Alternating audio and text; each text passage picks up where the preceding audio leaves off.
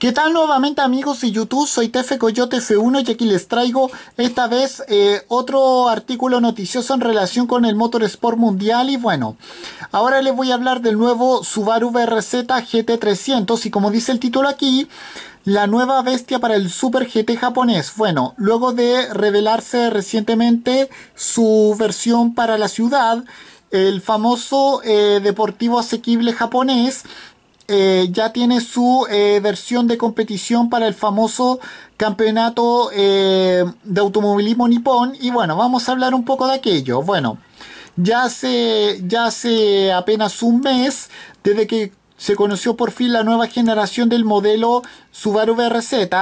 una máquina deportiva que optimizó mucho más su famosa receta y a pesar de del poco tiempo que pasó desde su, desde su estreno, ya tiene una versión de competición dentro de las pistas. Porque ah, la automotriz eh, japonesa Subaru ha mostrado su eh, BRZ para el famoso Super GT que incluso ya se puede ver dentro de la pista. Como sabemos, este vehículo va a, competir a partir de este nuevo año en la categoría GT3000, no, GT300, eso quiere decir la segunda más importante del Super GT después de la GT500 y, y, que pese a y que pese a contar eh, con una potencia algo más reducida, no, renuncia a una agresiva sección exterior eh, compuesta por una carrocería ensanchada ligera y que además está hecha con fibra carbono y extremadamente aerodinámica, repleta de aletines, eh, repleta también de toma de aire y un,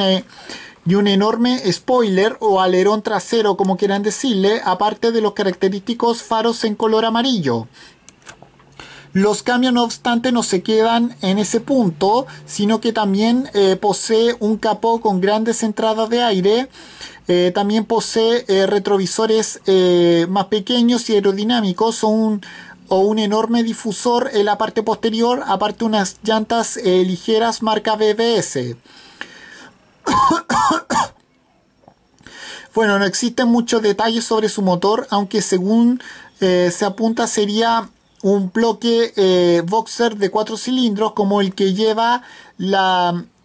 máquina de calle pero algo más mejorado y potente hay que recordar eso sí que los que la máquina Super GT de la generación anterior contaban con el motor EJ20 que utiliza el Subaru Legacy y bueno el modelo fue, fue presentado en un streaming de la automotriz japonesa en el que ya se puede ver incluso en una acción sobre el 1.5447 del video que eh, ya, ya, colgó en su cuenta oficial de YouTube eh, la compañía japonesa en el que también eh, habla, habla con algunos pilotos oficiales de la compañía automotriz claramente en japonés, así que no se le va a entender y por eso no vamos a ver este video. Se espera que su debut en el Super GT llegue en, la, en esta nueva temporada 2021, donde se verá las caras con el modelo, con otros modelos como el Toyota Supra o el Nissan GTR, pero también con algunos GT3 europeos de, de las alemanas BMW, Audi o Mercedes-Benz. Y con esto me despido, adiós, que me fuera, chao.